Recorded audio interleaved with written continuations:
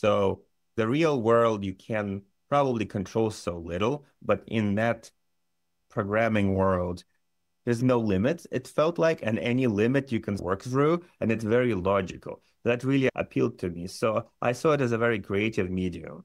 And it's interesting. There was a curious phrase my parents would say, and I think that probably stuck with me because I would look at my software things and my excitement for computers, and it would say something along the lines of, This is so trivial. Like one cell is way complicated than a spaceship.